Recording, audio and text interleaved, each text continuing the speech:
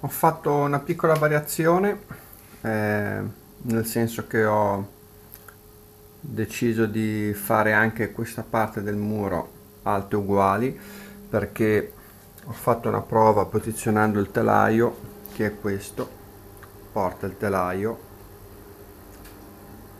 Li ho fissati in modo da tenerlo in squadra perché come dicevo è un telaio una porta vecchia quindi non, senza la porta non è facile tenerlo dritto in squadra perché non è, non è proprio fatto bene con un legno uh, vecchio proprio dei, dei tronchi. Per cui io l'ho fissato così l'ho posizionato ma uh, non era facile tenerlo dritto e giusto col fatto che non c'era il muro qua non ero sicuro. Per cui ho preferito tirare sul muro e ora lo posiziono ho lasciato un po' di luce circa un centimetro e mezzo due per lato e verrà schiumato con, con anche la porta per cui poi aspetto che asciughi toglierò questi listelli che ho messo per tenerlo dritto e poi fisserò ancora con delle viti. Telaio posizionato qua adesso schiumiamo abbiamo dovuto fare una via di mezzo perché non è perfettamente dritto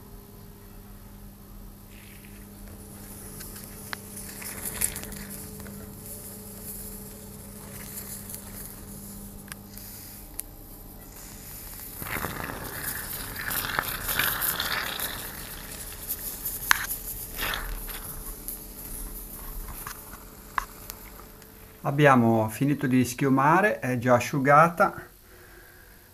Quindi abbiamo tolto un traversino di questi qui centrali e la porta in modo da poter passare. Qua all'interno vabbè avevamo finito la schiuma quindi ne, ne avanza ce n'è da mettere ancora un pochino però adesso in, queste, in questi spazi che sono rimasti tra il montante e il gas beton Mm, ci riempirò con la colla, ma mm, prima ci metto dei pezzettini di legno che facciano da, da scontro, perché poi ovviamente il telaio va fissato con le viti e non vorrei che con solo la schiuma, magari tirando le viti, si, diciamo, si tirasse dietro anche un po' il telaio da modificare. Allora li metto dei pezzettini a scontro, 3 o 4 qua dove ci stanno, poi riempio appunto un po' di colla eh, che tanto anche quella indurendo fa spessore, però dove riesco ci metterò qualche tacchettino di legno.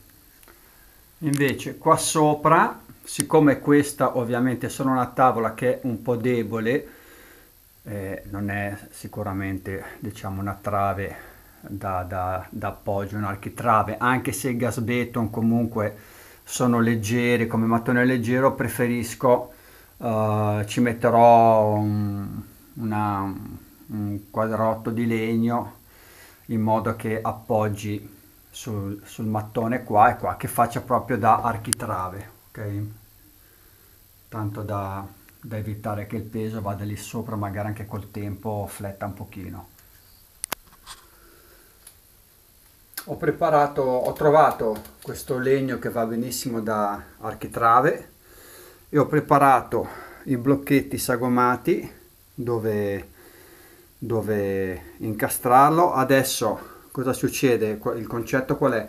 È che chiaramente poi questo qui non appoggerà sulla, sul telaio della porta ma sarà sollevato perché ora poi mettendo la colla questo si alzerà di qualche millimetro e se non basta ci mettiamo uno spessorino in modo da far andare poi tutto il peso dei successivi gas beton che andranno sopra tra qua a finire al muro uh, andranno a gravare sulla, su questo listello piuttosto che non sul telaio evitando così che ripeto per quanto leggero comunque magari un po' di flessione la può dare anche col tempo.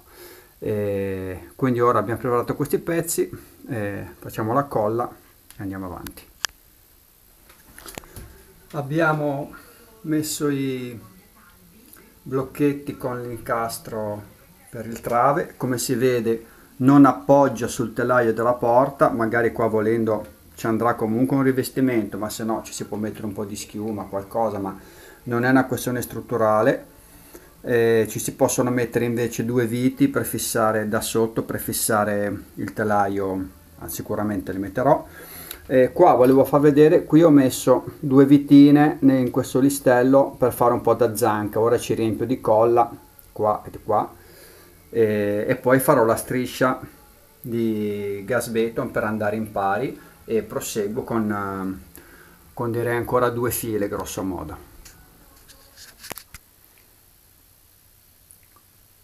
Ok, abbiamo finito il muro fino al soffitto, pensavo di riempirlo con della schiuma espansa come in teoria un po' consigliano ma lo finirò comunque a colla e qualche pezzo di gas beton. Qui il telaio è stato fissato con tre viti per lato più qua sotto al, alla trave di legno che abbiamo messo quindi una volta fissato ho tolto i listelli che lo tenevano diciamo in squadra in forma. E adesso niente appunto finiamo lassù in cima l'ultimo l'ultimo spazietto. E poi facciamo la finitura ad arenino finitura civile quindi.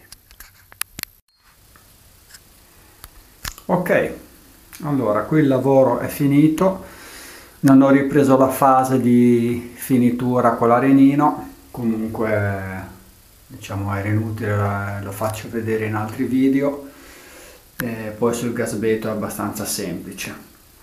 Eh, ripeto, è una casa in campagna, quindi diciamo vanno bene anche delle finiture abbastanza, rifiniture abbastanza, uh, come dire, abbastanza alla buona per quanto si cerca meglio di fare, di fare, si cerca di fare lavoro sempre al meglio.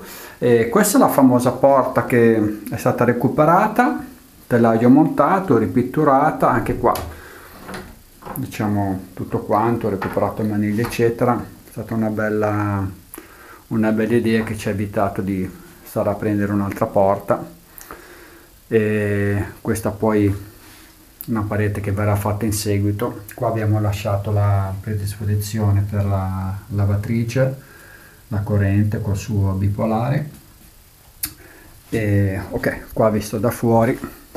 Ecco un piccolo errorino che ho fatto. Per esempio qui se si vede qua in questo punto si nota la riga di giunta tra, tra i due gasbeton perché lo stavo finendo e sono stato un po' così avevo un po' poco arenino per cui non me ne sono accorto lì è rimasta così volendo si può anche riprendere ma qua non è assolutamente il caso qua è come è rimasto qui dentro c'è l'architrave con il legno che comunque io ho rivestito e abbiamo fatto così poi abbiamo messo due bordini sul, sul montante.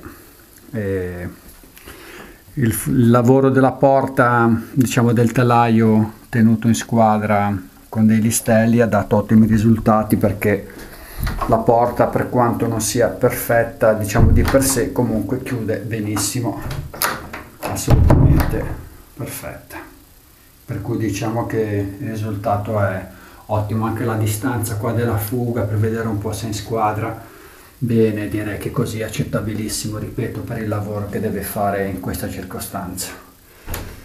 Ok, grazie e un saluto a tutti.